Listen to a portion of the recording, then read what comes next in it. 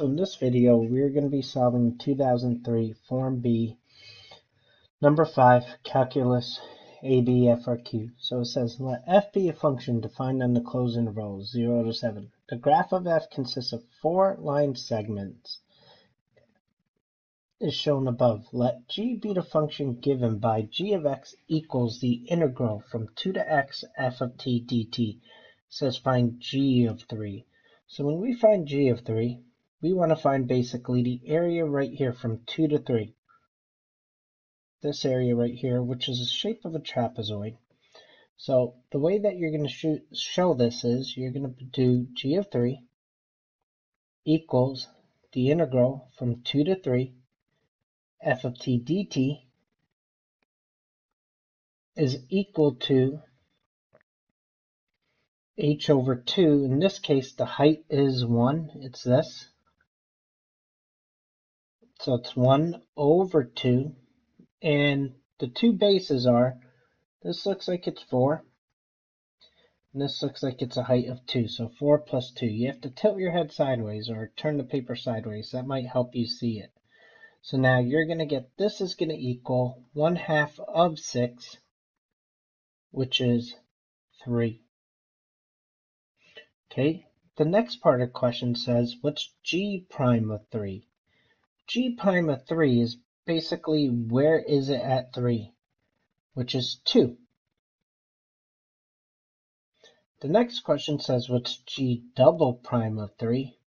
g double prime of 3 is a slope right here. So now you have a coordinate. You have 0, 4, actually 2, 4, my apologies, 2, 4, and your other slope, uh, your other coordinate is 4, 0. So if you want to find this, you're going to do 4 minus 0 over 2 minus 4, which is equal to 4 over negative 2, which equals negative 2. Okay, let's read part B of the question. So part B of the question says, find the average rate of change on the interval from 0 to 3 Okay, so if you want to find average rate of change, you got to do f of b minus f of a all over b minus a. So in this case, you're going to do, since it's at 3 to 0, you're going to do, let me write that down, f of b minus f of a over b minus a, which equals 3 minus 0, or f or g of 3, in this case minus g of 0, over 3. That's how you're going to find your average, which equals the integral, but you have to have the one-third. The So g of 3, 2, g of 0, 0. That's how you get one-third. So now you're going to get the integral from 0 to 3 f of t dt So now you have one third. We need to find the area of zero. Let me change colors so that way it kind of stands out. Let's do red. So if you do 0 to 2, that might be an easier area to find because we already have the other area from the other part. So now when we do this, that's a triangle.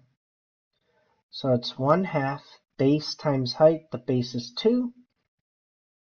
The height is 4 plus what we had before in part A when we solved it uh, in the original part, which was the trapezoid, the 1 half. 4 plus 2. Okay, now let's do the math. We're going to get 8. Half of 8 is 4, so we're getting 1 third times 4 plus the 3 we had, and now we're going to get 7 thirds. Okay, part C of this question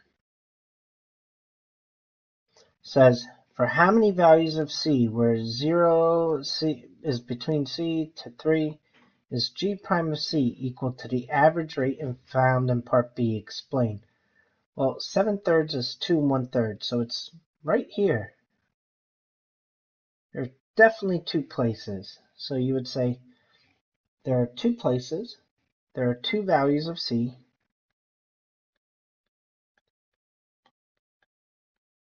values of c, and you would say where 7 thirds equals f of c, which is equal to g prime of c. And there's going to be two lines that are going to intersect this.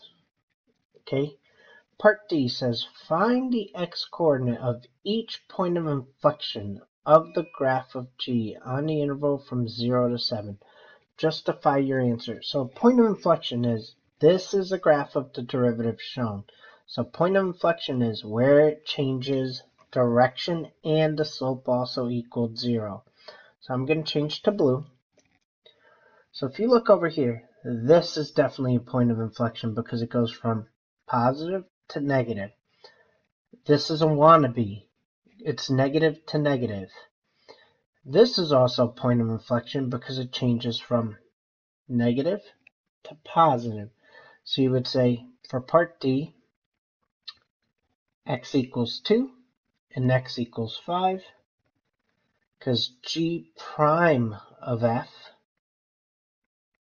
it's actually um I wouldn't say the slope equals 0 it's actually um the slope is undefined there if you think about it well yeah it's it's undefined because it, it does that little cusp corner thing um, but that's only for the derivative. So you would say changes from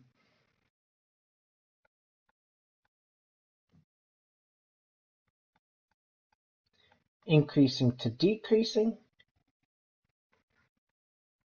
or decreasing to increasing at these two particular points. And you should probably specify that the first one is 2 and the second one is 5. I'm kind of out of room, but you could do that. I hope this video helps.